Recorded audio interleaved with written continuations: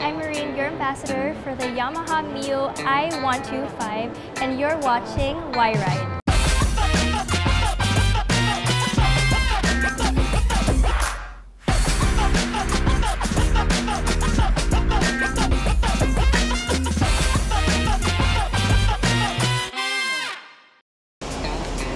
Thank you. Maraming salamat. I'm back and we are here at the place where it all started and I'm talking about the Y Zone. And in this episode, fortunately, hindi po natin kasama si Tina pero okay lang yon kasi pwede nyo siya itag sa comments at sasagutin niya kayong lahat. In this episode, we are gonna take a look into Yamaha's high quality, high standard, world-class level service. So, aaralin natin at titingnan natin kung paano nila sinaservice ang mga motor. Now, apart from its technicians, what sets Yamaha apart from the everybody else in the industry, basically, is the technology. Uh, ika nga yung tinatawag nilang advanced service. They have a tool called uh, Yamaha Diagnostic Tool number 3. And we have one of their excellent technicians with me right now. This is Blue is Fast. Uh, natatawa lang ako sa name tag niya. eh. It's Chris. Chris is going to tell us what this is all about. So, what is the Diagnostic Tool 3? Ah, sir, ito po yung diagnostics ah, tool 3 natin. So, ito yung module. Epo. Okay. And you can hook it up sa kahit ano laptop. Apo. Okay.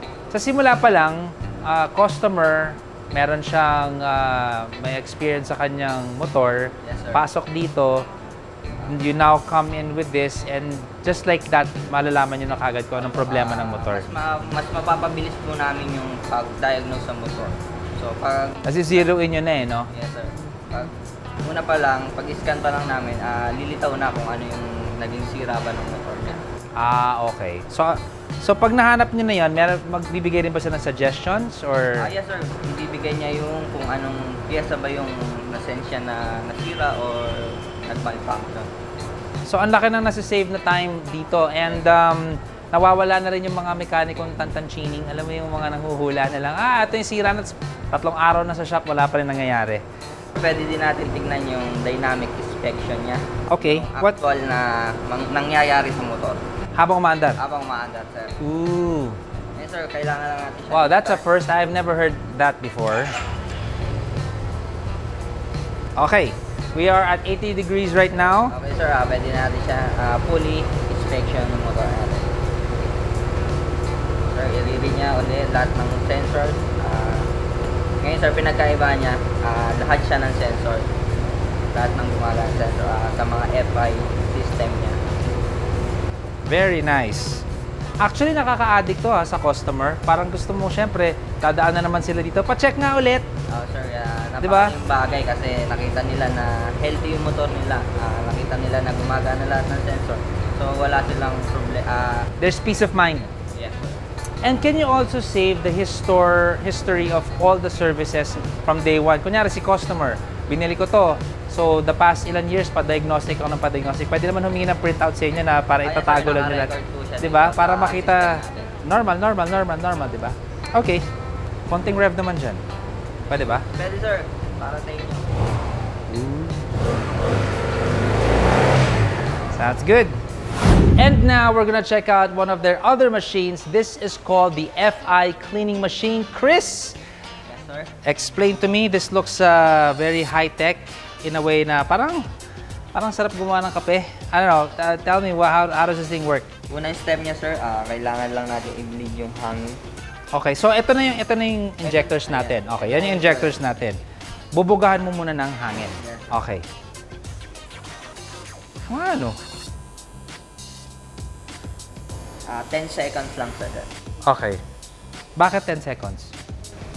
Ah, yun lang yung ah, pwede niya nang malabas lahat ng hangin na naipon sa Ah, okay. 10 So ngayon, vacuum na siya. Yes, sir. Tama? Okay, sige. Okay. natin, sir, ah, yung Spray. spray na. So, lilipat lang natin siya dito, sir, sa isang spray. Ngayon, sir, titingnan natin yung spray pattern niya. Okay. Dapat, sir, ano siya, bilog. Okay. Yan, tulad niya, sir. Pareho sila ngayon. Yun na yun? Yun na yun. Yun yung spray ng pag nasa actual na ng motor na siya. Buga-buga lang? Buga-buga Hindi tuloy-tuloy? Galing ah. Eh, sir, ililipat ulit natin siya dito sa... Ah, susukatin natin yung yung bagong injector dun sa galing sa customer. Anong susukatin natin? Kung pareho, yung jet amount niya, sir. Jet amount. Okay, fire away. Sir, i-start na natin siya. Ano yung lalabas yan? Ano yung lumalabas yan ngayon? Ayan yung liquid na pang Panlinis. panlinis na din natin. Parang beer lang ah. okay. Ano ang findings? Yan, sir, kita niyo, sir, ah, pareho yung jet amount nila. Di oh, lamang to ng iso. Hindi, okay lang. Sakto. Ngayon, sir, kukunin natin yung sa customer na injector. Okay. So, kumbaga ito yung diagnostic. Yes, sir. Para Um, ma-assess kung anong pan-check problema. ng, ano, sir, ah, accuracy kung Pero kung ayos naman na, pwede mo na ibalik. pwede na. Ngayon, pa inapakita mo sa akin, in the event na madumi, paano nililinis? Paano siya nililinis? Kung hindi siya magkamukha ng pattern, tapos kung mas lamang isa, kailangan natin siyang Okay, libay. got it. Ngayon, sir, lalagay na natin yung injector cleaner natin. Okay. Okay. And then, now, what is the intervals? Kailan dapat nila, kailan sila dapat pumunta dito para ipa-check yung injector nila? Ah, kami, sir, ina-advise namin, ah, sa standard namin, ah, 12,000 kilometer. ng Patingin mo na. Pwede Okay. na siyang FIP. Okay. Nice. Ano ba reason kung bakit nadudumihan injector bukod sa alikabok? Ano ba yung mga dapat natin iwasan? Para rin aware sila na how to, para patagalin bago ma madumihan. Sa ano din, sir, sa fuel natin, kailangan ah, Ah. sa magagandang gasoline station tayo ng papagas. So, doon naiipon kasi yung langis, sir, kung Iwasan natin yung mga bote-bote sa probinsya ng tabi-tabi kasi di mo alam sa paano nila sinustore. Oh, so bara-bara. So this is maintenance, 12,000 kilometers, patingin nyo na, and it's pretty, I mean, naiintindihan na natin, di ba, how this thing works. Very important with Yamaha is this thing they call time commitment service. Ang oras ninyo ay mahalaga sa kanila. Kaya pinapakita nila kung kagano sila kabilis sa paggawa nila ng serbisyo sa motor mo at at the same time, maayos pa rin. And at this point, we'd like to call Ace to explain more on what Servilis is all about. Hello, Ace. Hi, sir. Kamusta? Okay na po. Medyo hawig mo si Yorme ah. Tell us, what is Servilis? Ito yung kinocommit namin sa customer kung paano namin gagawin ng pinakamahusay at pinakamabilis yung kanilang mga motorsiklo. Ano yung pinakamabilis na kaya nyo i-commit? Anong klaseng service yun? 15 minutes, so 15 minutes change oil. As in change oil lang siya, walang ibang gagawin. Kundi yung change oil lang po. Okay. Ano naman yung pinakamatagal? Pinakamatagal sa service, Ang major tune-up na ata, no? yes, major tune-up na po. Kano naman katagal yun? 3 hours po. 3 hours. Yes. And in 3 hours, ano ang maasahan nila magagawa sa motor nila? As in, uh, general check-up po. Okay.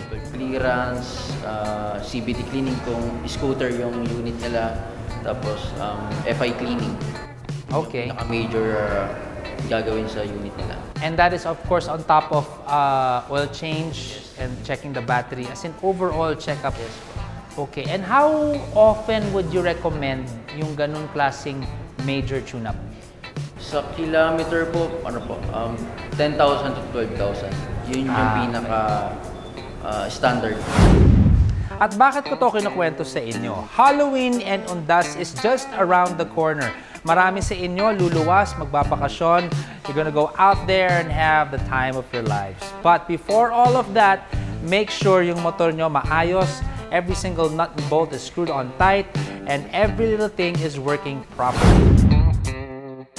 And that is it for this episode. I hope na appreciate niyo po kung paano namin pinakita sa inyo yung level of standard, yung world-class standard ng Yamaha kung paano nila sinaservice ang mga motor ninyo. And remember, this happens not just in Y-Zone.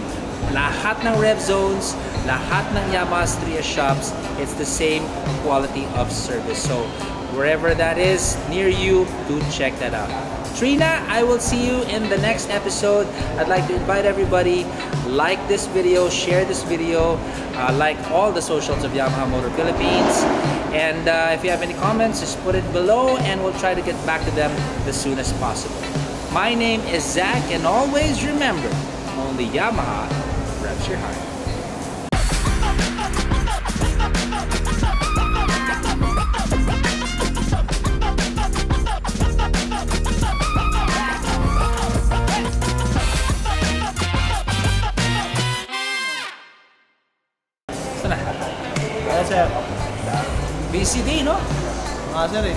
Okay lang. Kakatawa. Tagal na akong nakadalaw dito ulit. Uh, medyo nagkaayos na rin naman tayo sa nangyama. Sinuli ko naman yung nalaman din. Oh! Ano yun? Ano yun?